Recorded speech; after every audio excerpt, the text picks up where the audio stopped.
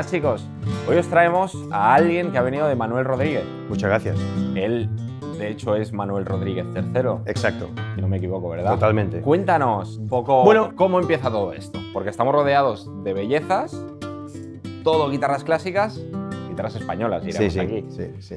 Y cuéntanos un poco, ¿cómo empieza todo esto? Bueno, primero gracias por escucharnos, thank you guys. Y dos, eh, gracias por la invitación de este gran vídeo y esta gran tienda que tenéis, felicidades. Vengo con mi mensaje de pasión española, o sea, somos la, segunda marca más antigua del mundo, 118 años, hemos pasado dos guerras mundiales, una guerra civil y una pandemia haciendo guitarras. Y aquí seguimos, aquí seguimos con estas bellezas, maderas. Mi, gran fortuna es que mi abuelo tiene maderas de, la guerra civil española. Hablo de Palos Santos, que venía del café de Brasil, iba al mercado de lavapiés, cogía esta madera y luego vamos a enseñaros unas maderas impresionantes. Y O sea, se- estamos hablando de que existe un almacén con maderas históricas Exacto. que utilizáis solo para piezas concretas que veremos más adelante. Exactamente, exactamente. Entonces, eh, yo nací en California, Los Ángeles. Mis padres emigraron a Estados Unidos a hacer guitarras españolas para la industria de Hollywood. Yo nací en Hollywood y 20 años allí y volvimos a España y desde el año 76, cuando Franco ya dejó el poder, aquí, aquí había democracia y desde aquí abarcamos el mundo entero. Ok. Porque desde Estados Unidos abarcamos solamente el mercado americano. Claro, y al final las guitarras españolas. hay Made que- in Spain, tiene que estar en la, tienen en la que- madre patria, tiene que estar, ¿me que entiendes? estar. Y Madrid es la ciudad más antigua del mundo donde se inventó la guitarra española. Entonces, eh, empezó mi bisabuelo, tocaba flamenco, los marequi, al zar de Rusia, iban en tren en 1880 y iban a tocar el flamenco. Era como el Paco Lucía de aquella época, que hay un libro muy bonito que ya luego te daré. Entonces, mi abuelo tenía una pescadería. Ok. Y en esa pescadería en Cádiz, en la Primera Guerra Mundial, un buque de la Armada Alemana se hundió con mil soldados. ¿Qué pasó? Que la gente tenía miedo de comer pescado, porque se creía que estaba contaminado. Entonces mi abuelo se arruinó y empezó a hacer guitarras para mi bisabuelo. Gracias a ese buque alemán, yo no estoy aquí ahora mismo contigo haciendo esta entrevista. La vida, lo que son las cosas de la vida. Entonces mi abuelo empezó a hacer guitarras y se fue a Madrid, que es la cuna, la escuela más antigua del mundo de la guitarra clásica. Trabajó en Ramírez, tenía su, taller antiguo en Lavapiés, por las noches hacía sus guitarras y mi padre continuó la saga.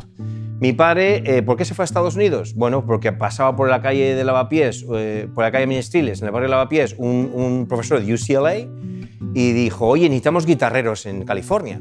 Digo, why not? Entonces, sin saber nada de español, recién casados, 100 dólares, unas herramientas y unas maderas, se fueron a las Américas, año 55. Y ahí pues tuve un éxito. Claro. Y- Empiezan a construir en Estados Unidos exactamente. españolas. Exacto, para los actores de cine y todo el mundo ese de allí. Y entonces la competencia japonesa inundó Yamaha y todas las demás marcas que... entonces desde España decimos, bueno, pues desde aquí abarcamos el mundo entero. Spanish Guitar es guitarra española. Y entonces aquí pues hemos llegado pues un largo camino y ya cubrimos 120 países en el mundo llevando la marca España. Sí. Y, y muy privilegiado y es un honor estar aquí contigo hablando de estas cosas. Cuando yo empecé a hacer guitarras, eh, me pesaban los libros. No era un buen estudiante. Lo siento. Pero estoy muy agradecido porque he podido a- aprender un oficio que es realmente único en el mundo. Entonces, eh, eh, empecé a hacer mis guitarras y yo daba clases de inglés porque, por mi tema americano y me compré mi primer coche. Y llevaba unas guitarras que hacía yo, pues no se vendían en el taller. Estoy hablando de los años 80. Tenía muchísimo pelo y con coleta, tela. ¿eh? Entonces, con ese coche me iba por Europa, por, por Inglaterra, Bélgica, y tuve éxito y se vendían las guitarras. Vuelvo a España y mi padre me compra un camión, un Mercedes que cabían mil guitarras. Entonces, en Valencia hacían las guitarras de estudio y en el taller nuestro en ventas, la de Toros, hacíamos las guitarras caras. Entonces, esa época fue cuando nos quemaban los camiones en la Junquera, me acuerdo subí por esta autopista hacia la Junquera porque llevaba un camión, guitarras, Guitar Maker, Luthier, todo el mundo decía, ¿esto qué es? Yo iba con páginas amarillas y con mapas, era el Amazon de aquella época. Knocking doors por todas las tiendas vendiendo guitarras Rodríguez y quería el modelo, vale, lo tengo en el camión, lo servíamos y cobramos y la siguiente tienda. Esa experiencia fue maravillosa. Porque íbamos hasta, hasta el muro de Berlín íbamos a vender guitarras. Y eran 40.000 kilómetros, cuatro meses, brutal. Esa experiencia, con la feria de Frankfurt Music Messe, ha llegado a la marca donde hemos llegado. Y en Estados Unidos hizo lo mismo con una caravana. Y ha sido eh, cómo poco a poco esta marca ha ido cogiendo a nivel Pero global. hayas tenido unos inputs de, de- de- de muchas culturas diversas. Exactamente, Y de, y de un montón de puntos de vista. ¿Y cómo continúa todo esto? Bueno, pues ¿Tus hijos van a seguir haciendo guitarras? No, mis hijos quieren ser políticos que ganan pasta, ¿no? O ingenieros navales, o, o- o abogados, o médicos. Entonces, estos son negocios que se aprenden solamente de padres a hijos. Y la generación de ahora es muy distinta que mi generación de coger un camión y meter guitarras y irte por ahí a la aventura. O irme a Fiji a montar una fábrica de ukeleles. Es otro concepto muy distinto. Entonces, eh, el, el hecho es que hemos hecho un partnership con Geva. A nivel mundial para que ellos continúen con el legado. Vais a poder seguir comprando Manuel Rodríguez por todo el mundo sin problema guitarras españolas hechas en España. ¿A través Y- de qué va? Claro, y Albasoni. Es un Sí, correcto. centro importante donde está aquí la marca también. Manuel Rodríguez se estructura con cinco gamas o series. Correcto. Serán la ecología, la tradición, la academia, la superior y luego la magistral. Sobresaliente. Vamos a ir por partes. Vamos a empezar con el primer modelo de Manuel Rodríguez. Esta- este entry price de guitarras se llaman ecología y el propio nombre ya nos dice, Claro. pistas. Claro, claro. Bueno, ese modelo, eh, yo soy muy ecológico y eh, me, me importa, me importa mucho el tema del planeta. El, el diapasón es de acacia, la tapa es abeto de Rumanía y eh, walnut, que es eh, Nogal. fondo yaros, Sí, nogal, los fondos son y nogal. eh, el maple europeo del, del mango. Tenemos este detallito de aquí, chicos, y es que los acabados de todas estas guitarras están hechos con base de agua. Correcto. ¿Cierto? O sea, ponemos en nuestro móvil QR y ves exactamente todo cómo aplicamos, cómo elijamos todos los barnices con agua. Otra cosa muy importante es que todas las guitarras Rodríguez tienen cejillas de hueso, tanto en el puente como en el mango. Y luego ponemos el armrest. Este armrest que pone es muy práctico cuando estás tocando, no te cansa el, el- el brazo. Y luego es que no toca la tapa, está pegado justo Exacto, está en la cenefa. No es un corte, sino que es un añadido Correcto, para la comodidad correcto, que, que correcto. está justo en el, en el La cenefa. sería el binding, sí. El binding, exactamente. Correcto. Por lo que no está en la tapa afectando a la, a la vibración de la tapa. Y luego todas las guitarras Rodríguez llevan las cuerdas Hanabak, que son cuerdas alemanas de tensión media. La competencia usan cuerdas mucho más baratas. Nosotros usamos una, una cuerda de más calidad porque cuando coges la guitarra tiene que sonar fuerte. Y es una manera de también un punto de venta importante que disfrutéis desde el principio con unas buenas cuerdas en la guitarra. La primera impresión que te llevas Exactamente, cuando coges una guitarra exactamente. todo. También incluyen este detallito, chicos, pone aquí acacia. Es un sobrecito que traen las guitarras que al final lo que encontramos dentro son semillas del árbol de la acacia para que podáis plantar un árbol donde queráis. Vamos con la segunda serie, tradición. ¿Qué cambia respecto a la, a la primera que hemos visto, la ecología? Bueno, el abanico cambia un poco. Ya estamos hablando de tapa de cedro de Canadá. También tiene el armrest, el, el- la cejilla de hueso, otro tipo de, de mosaico. Y ya esto es caoba africana, tintado. Es otro tipo de sonido, porque al cambiar un poco el abanico es otro step up de calidad. Es de- una guitarra que estéticamente nos recuerda más a lo clásico, Claro. de ahí el nombre. Más convencional. tradición. Correcto. Y también cambia el bracing de la tapa, me Sí, por antes. dentro. Sí. Entonces es otro, otro sonido distinto en cuanto a bajos y triples son más equilibrados. Y también tenemos los dots en el, diapa- en el diapasón para que no se pierdan. Y también lo mismo con eh, barniz de agua. Vamos con la academia. ¿Qué diferencia hay entre la academia y la tradición, por ejemplo? Que esto es un pasito más. Es un modelo más profesional, o sea, mm, es una guitarra ya que ya sabes tocar la guitarra, dominas la guitarra y ya quieres ir a otro nivel. Eh, ponemos palo santo, chapado, fondo y aros, el armrest como hemos explicado en las guitarras anteriores. Aquí es la última ya con seis agujeros en, la- en el puente. Pues aquí ya pasaremos a 12 agujeros. Correcto, la siguiente.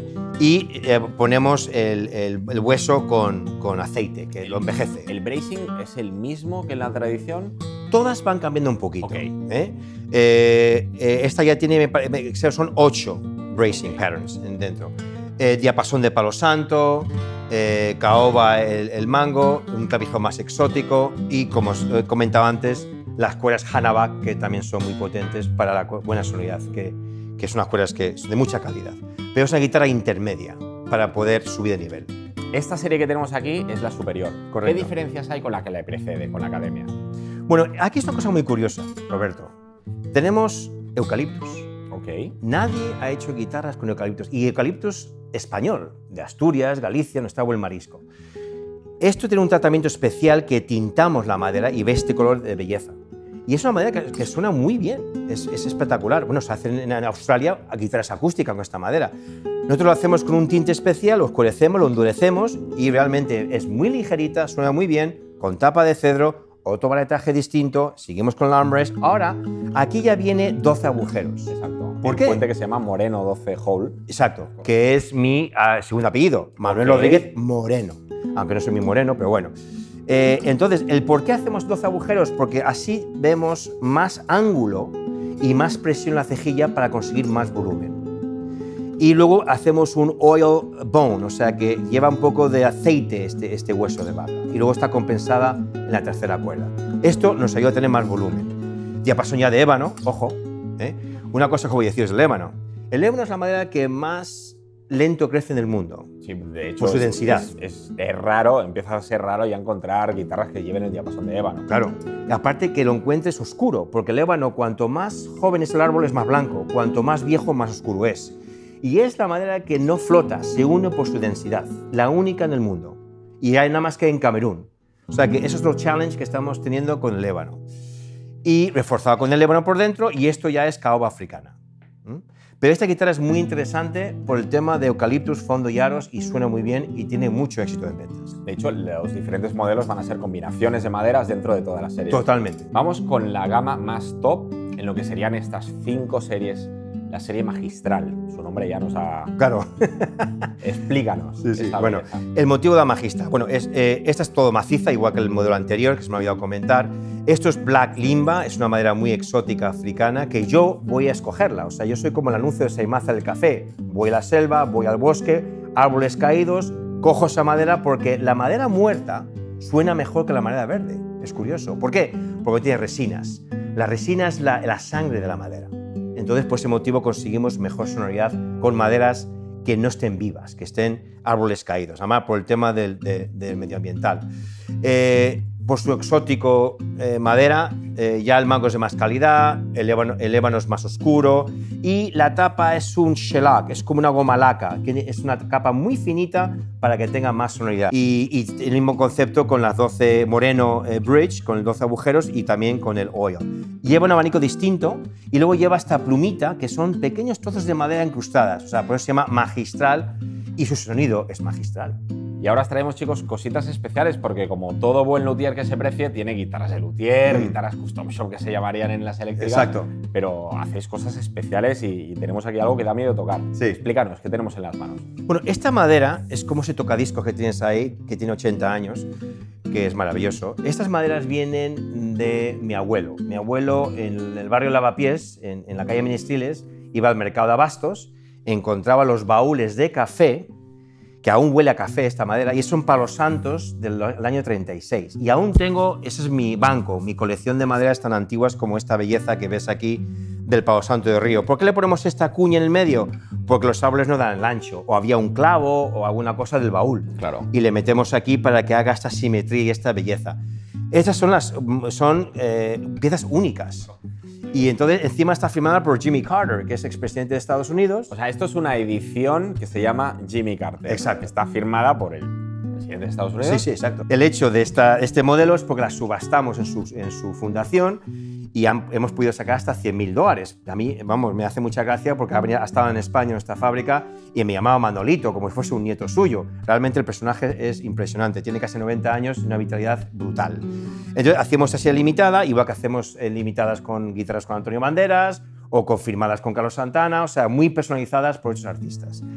Y es esto, las maderas tan únicas que cada guitarra suena distinta. Siempre decimos que en todas las guitarras tienes que probar varias para quedarte cuáles, pero es que esto ya no hay dos iguales. Ni Esto es la- lo más sexy. Claro. ¿eh? O sea, esto puede provocar un divorcio en tu matrimonio por lo sexy que es esta guitarra, pero siempre he dicho que las guitarras crean muchos celos, hay que tener mucho cuidado. Pero estos instrumentos son únicos en sonido, únicos en belleza y hay que hacer el amor con ellas. Y es a base de invertir un tiempo en dinero y comprar una guitarra de este tipo. Que estas guitarras ya valen entre 10.000 y 12.000 euros. Cuéntanos, ¿también haces guitarras acústicas? Sí, vamos a ver, llevo años haciendo guitarra acústica, pero yo soy un poco diseñador, inventor. Tenemos que cambiar un poco la cultura, que la clásica es muy conservador. Sota, caballo, rey. Yo que lo que quiero hacer es, he hecho una versión clásico como esto, que se llama café olé, café y leche. Entonces, ¿qué conseguimos con esta combinación de tapas? De maderas, bueno, pues que los bajos y triples son más equilibrados todavía. Y luego hace branding on stage y luego no tenemos feedback, porque la boca está aquí. Yo cuando estoy tocando escucho perfectamente cómo suena la guitarra. ¿no? Tenemos el Fishman eh, Prefix, que tiene afinador y, y, micrófono, y también las maderas de mi abuelo, que eso es un ébano también muy antiguo. Eh, este concepto tiene mucho éxito, porque Carlos Santana tiene una guitarra exactamente igual que esta en versión acústica, y en versión clásico tiene a Alejandro Sanz, Pablo Alborán, en fin, muchos artistas, hasta Sting, y es algo muy novedoso porque yo soy inventor. Ya me copiarán y seguiré diseñando cosas nuevas, pero me apasiona hacer cosas nuevas para la industria. Muy bien, chicos, esperamos que os haya gustado el vídeo, ¿no? Roberto, ha, sido, un placer tenerte aquí. Un honor estar aquí con vosotros, de verdad. Me encanta vuestra tienda, es espectacular. Felicidades. Si tenéis dudas, dejadlas abajo en los comentarios y os prometo que si no conocemos la respuesta, intentaremos hacértela llegar y que puedas Encantado. Responder. Encantado. Y sin más, quedaros para más vídeos. Yo quería añadir una cosa más. No dejéis de tocar música. Sin música no somos seres humanos. Seguid con la música. Y muchas gracias. Hacerle caso.